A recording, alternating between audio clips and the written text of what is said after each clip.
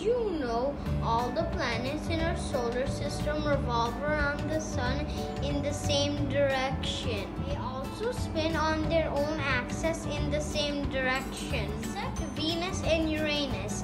Uranus spins on its side and uh, Venus spins clockwise. Well, now you know.